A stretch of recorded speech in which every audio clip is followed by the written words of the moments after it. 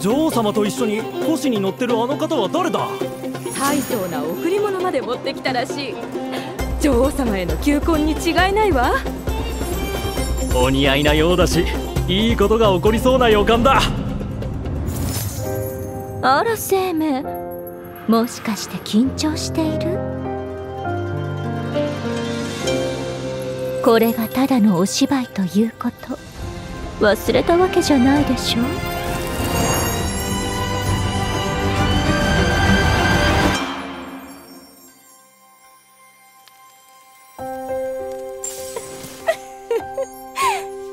婚約の噂が私の評判に影響するんじゃないかって心配しているようね。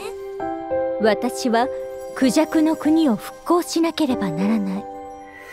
だから強い勢力と同盟を結ぶ必要があるの。妖怪さんも同盟を結ぶことの意味をよく考えなさい。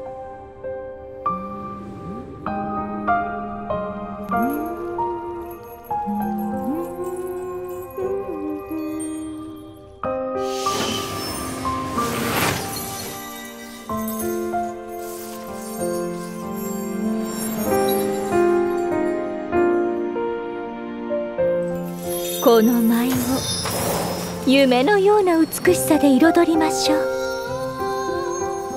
お客様私の相手役として舞の稽古に付き合ってくれないかしら。せっかくだからクジャクの国の習わしも教えてあげま